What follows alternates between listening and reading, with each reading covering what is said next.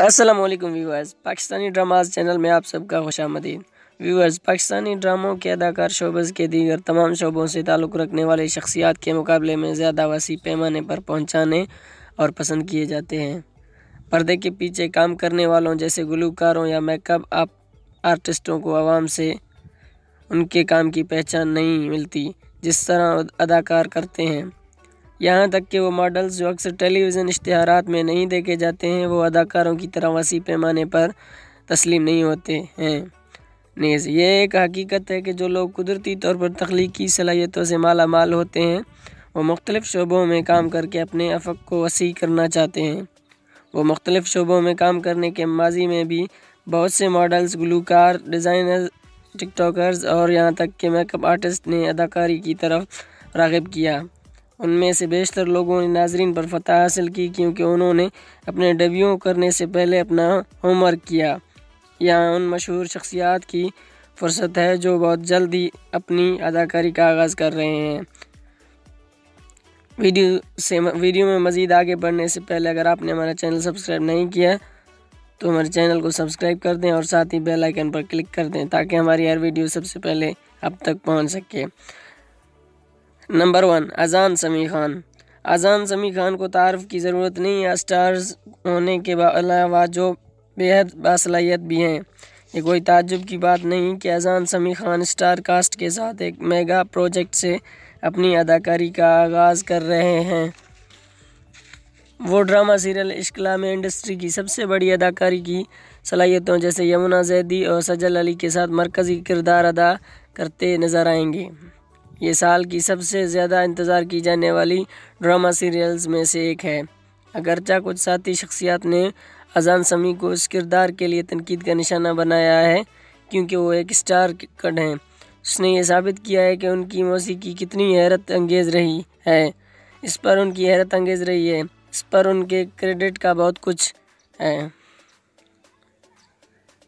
Number two, जन्नत मिर्ज़ा। जन्नत मिर्ज़ा पाकिस्तान में सबसे ज़्यादा पैरोकार टिकटॉकर्स में से एक हैं। वो पहले ही सोशल मीडिया पर अपनी पैरोकारी की वजह से मशहूर शख्सियत का दर्जा हासिल कर चुकी हैं। वो अक्सर ब्राइड्स की तायद करती नज़र आए, आती हैं और टॉप शो मेज़बानों ने उनका इंटरव्यू लिया है।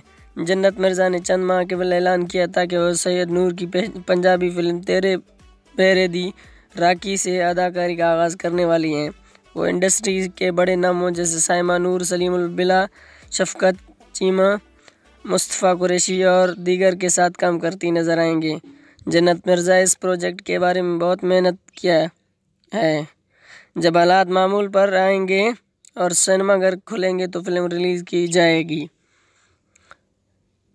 नंबर थ्री, खुशहाल खान। खुशहाल खान एक नौजवान मॉडल है, जिसे हाल ही में राइजिंग स्टार हमसे मॉडल अवार्ड जीता गया। वो पहले वेब सीरीज़ में अपनी अदाकारी की महारत दिखा चुके हैं, लेकिन पहला मौका होगा जब वो टेलीविज़न पर मरकज़ी धारे के ड्रामे में नज़र आएँगी। वो आने वाले ड्रामा सीरियल किस्सा मेहरबानों का हिस्सा होंगे। उनके मदा और पैरोकार उनकी पहली टेलीविज़न नुमाइश के मंतज़र हैं। ड्रामे के पैरों, प्रोमो से पता चलता है कि वो ड्रामे में एक अहम अदा, मावन किरदार अदा करेगा। खुशहाल एक अदाकार के तौर पर अपनी हद को वसी कर रहे हैं। और हमें पूरा यकीन है कि वो अदाकारी में भी बेहतरीन कारकर्दगी का मुजाहरा करेंगे। नंबर चार, आतिफ असलम।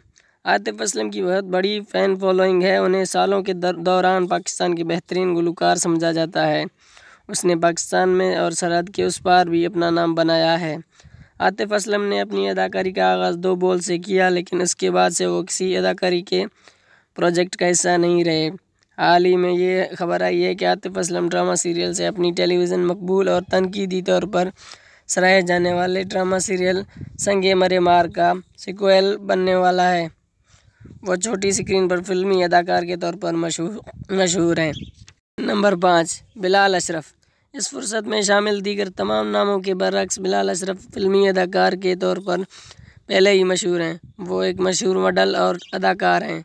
जिन्होंने अब तक अपने अदाकारी के कैरियर को सिर्फ़ मौजूदा सूरत हाल की वजह से बिलाल अशरफ ने अपनी दिलचस्पी टेलीविज़न पर मुंतकिल करने का फ़ैसला किया है। इतला थी कि वह जल्द ही एक जल्द एक टेलीविज़न प्रोजेक्ट में नज़र आएँगे। तफसीलात अभी सामने नहीं आई।